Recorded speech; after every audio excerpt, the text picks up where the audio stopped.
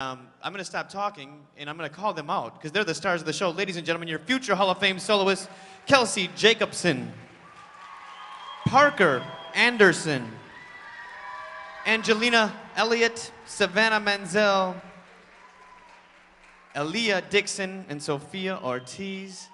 You guys, yes. You, you, you're superstars, and just listen to this audience right here.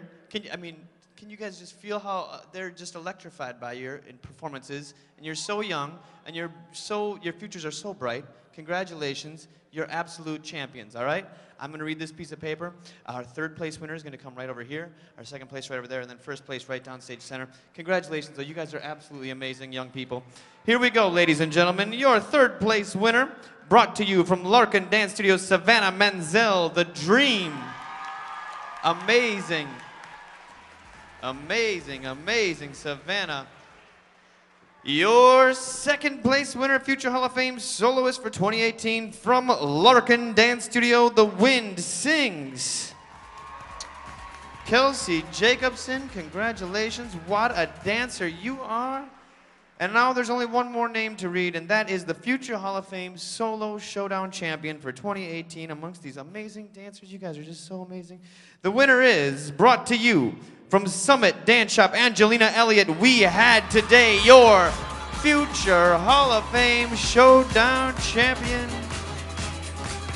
Wow, Angelina Elliot.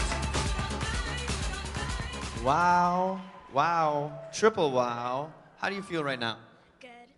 Thousands of dancers. All these dancers come from everywhere. You're the number one dancer in the showdown. Who taught you this dance?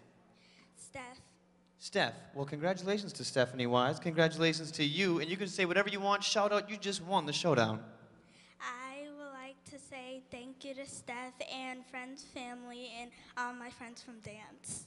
Yes, congratulations to all of them because they're all feeling it right now. Every one of your families, all of your teachers are so, so proud of you guys. Congratulations. You dancers can exit stage left at this time. You guys can head off this way and go sign tons of autographs.